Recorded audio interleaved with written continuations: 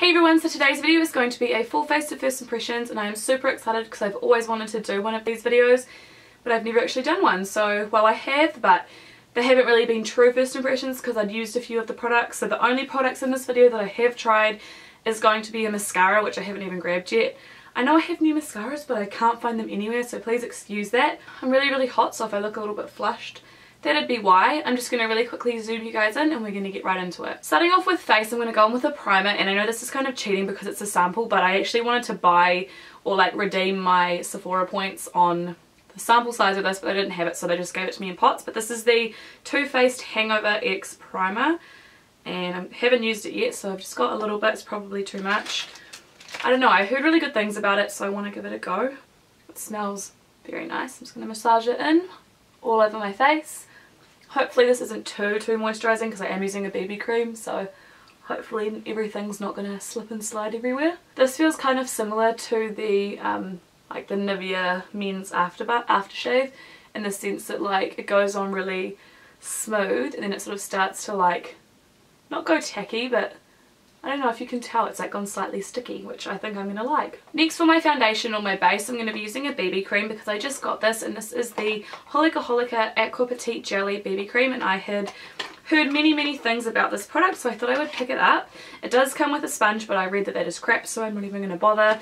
And to be honest with BB creams I prefer to use my fingers so it just comes in a jar like this. It's basically just a BB cream and it's kind of got like, I don't know if you guys can tell but it's got like a really weird jelly consistency as you'd expect. This is in the lightest shade which I believe is shade 20. Just got um, a compact to look into so if you're wondering what I'm looking at that's what. I guess I'm just going to lob some over my face.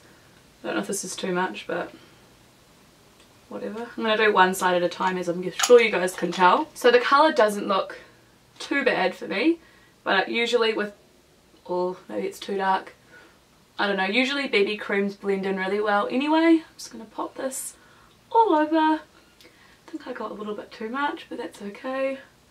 I really like the way this is blending in. I don't know if it's the primer, but it's kind of going tacky as well, which is good because I think it means that it'll stay. And I really like this coverage.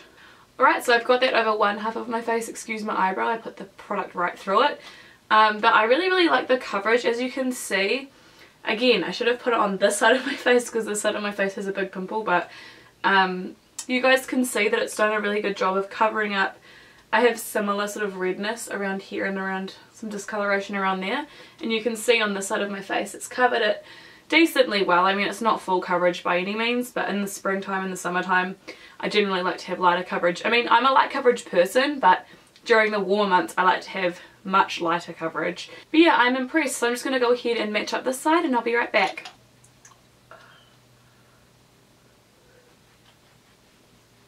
So I really, really love that. It's got kind of like a natural skin tone finish. This side is actually set down really well. It feels like I've just got, my god, it actually feels amazing. It feels like I've just got a moisturiser on. Like it's not too sticky.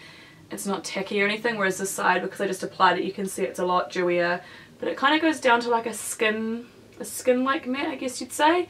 Um, the colour is pretty decent. I mean, it actually matches my body, but my neck is like ridiculously white, so I will just apply some of this to my neck um, in a second. But yeah, I'm really impressed. I'm really bummed. I thought this video was like all first impressions, but I just realised I don't have an under eye concealer, so I'm just going to use an old one that I haven't used in a while. This is the LA Girl Pro Conceal. I'm sorry guys, I really thought that this was like an entirely new product, but apparently not. So I'm just going to conceal under the eye I don't really get that many concealers as PR and when I do they don't match so most of the stuff that I'm showing you, actually not a lot of it is actually PR, I think only two things are PR but I haven't bought a concealer in a while so oh well. So it's not blending out as easily as it normally does. I don't know if it's because I'm using my finger or if because the combination of the BB cream and the primer is really tacky or what but it's just so not blending out as easily as it normally does. I was just about to powder my face until I remembered that I had this and this is brand new and I really wanted to try it out for you guys. This is the Elizabeth Arden Beautiful Colour Bold Illuminating Liquid Highlighter in Golden Kiss 01 and there is a chance that this is going to be too dark for me but we'll give it a go. It's basically just a liquid highlighter in one of those I think it's called like a mesh packaging where you press on it and the product comes off but I can see a little bit up there on the lid so I'm actually just going to use the stuff from the lid. Haven't heard anyone talk about this yet because it is really really new so this is like a full first impression. This is what the colour looks like. I think it might be too dark but kind of scared. Let's put it on my nose.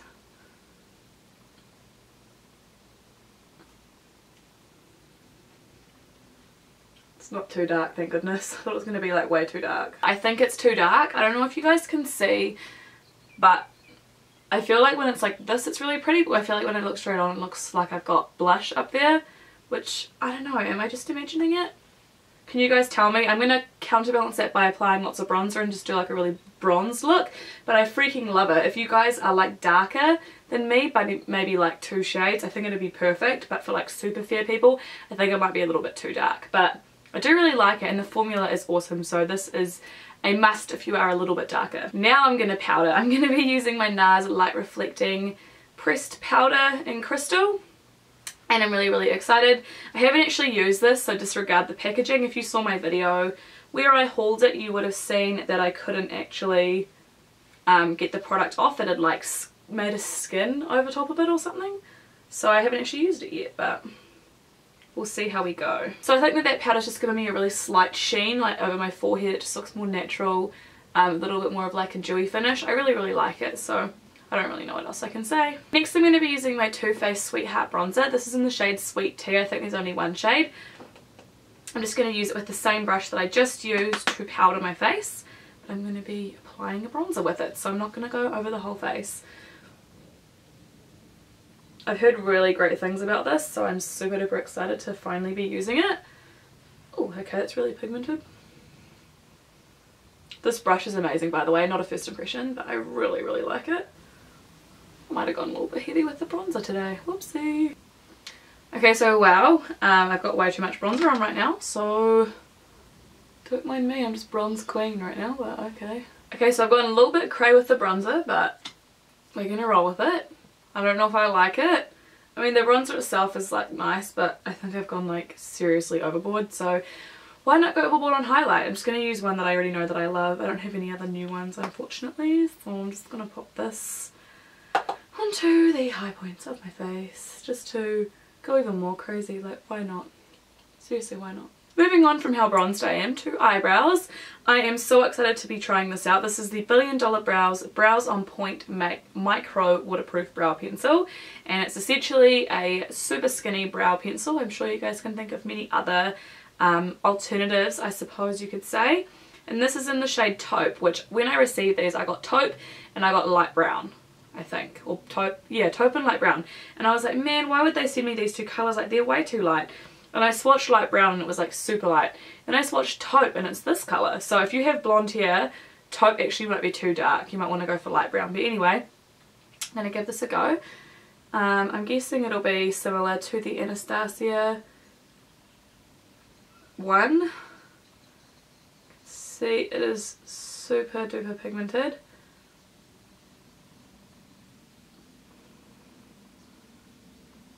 Having like no issues doing hair like strokes with this. That's super pigmented, like I feel like I'm barely touching my eyebrows and I'm getting so much product, which is great, but I think I'm applying a little bit too much. Alright, so my brow is super sharp. I haven't had brows this sharp in ages, so I'm really, really liking that. The only thing that's kind of hard is trying to fill in like those super bold parts. So like near sort of to my tail, sort of like in this area, it's quite um, sparse. So I can't really fill that in with this because it's so thin. So this might be when you want to invest in like a brow pen, um, a brow powder as well, but I'll make it work. So just use the brows on point to do my brows and I feel like my brows are on point and I really really like the way they turned out. Um, I will say that the colour is like perfect but if you're looking for like a normal taupe like a grey brown blonde taupe. This is not it. I have really black eyebrows and this colour is perfect. So I have no idea what their dark brown would look like. So I don't know what you'd want if you were blonde. Um, so maybe do some investigation into the shades. I'll put more info down below if I can find it. Brow gel is kind of brow gel to be honest. Um, unless it sucks, in which case it sucks. So, sorry. I don't have a new one to try. I do really like the Billion Dollar Brow one. I just don't know where mine is. I got it like probably about a year ago. Moving on to eyes, I'm going to be using a palette that I'm not going to lie, I've used like three shades from, four shades from, but I'm going to be doing a totally different look today. If you guys saw my last video, which was my current favourites, you would have seen that I had like a really cool tone eye look and I was using this palette, well I used this palette to create it and this is the Stila Eyes Are The Window eyeshadow palette in Mind and I bought this months ago and I only just started using it. Well, I only just did a look using it so I actually haven't, I don't know if you guys can tell but I haven't touched any of the warmer shades in the bottom two rows so I'm going to be using those today to create a look. I'm going to start off with that shade there which is called Wit. I'm also going to be pulling in this shade here which is called Genius. Um, and I'm going to be using those two sort of through the crease and then I'm going to be using Genius which is the lighter brown mixed with the cream at the top called Brilliance on the brow bone. So I'm just going in with Wit at the moment and it's just got such great colour payoff like look at that absolutely adore this palette. I mean, I haven't used the shadow before, I just, you know, expecting from the others that I've tried from it, it'll be super amazing. I was looking for an all matte palette and I picked this one over the Tartelette because the Tartelette is more purpley mauve and as much as I love purpley mauve looks, it's just not me. Like, I much prefer warm and I feel like there's probably like seven warm shades in here. Well, kind of like eight if you include that and then like four truly, truly cool shades. Um, I don't know, I don't, I don't think I would have gotten as much use out of the Tartelette and I've done like two looks with this. Well, this is my second look, so I'm in the process of doing my second look with this and I feel like the quality on this is impeccable and I do not regret my choice. So looking at the palette, I'm going to be taking the shade which is called Understanding and I'm just going to take that all over my eyelids. I just kind of want to have a really simplistic look. I'm just using an Artiste, it's Artiste brush. Yep, it's called the 30 Small Shadow Brush and this is actually a first impression too, not that anyone probably cares but I really like this shade that I'm putting on the lid because it's like slightly sort of pinky. I don't know, a little bit more pinky whereas the one that I've got on my crease is a little bit more orangey. I know this look is super duper simple but is just what I've been loving at the moment and I actually have to go to school after this so I don't want to look super cray. I'm just going to grab the really really rich chocolatey brown there which is called Creativity, just that one there and I'm just going to pick up a touch, a touch of this and I'm just going to blend that along my upper lash line. This brush probably isn't the greatest choice for it but I will make it work. So I don't know how much of that last part was in frame and my camera also died so I don't know when it died but basically what you guys missed if you missed anything was along my lash line I've just smudged this shade here which, oh, hello, is called, okay, this, oh my lord, are you serious? This shade here, which is called Creativity, and I put it along my lower lash line as well. So to finish off the look, I'm just going to take that first shade there, and I'm going to really heavily pack that into my inner corner. So I'm using that same brush, but I've just dusted it off, and I'm just going to pack that in the inner corner, just to sort of highlight that area.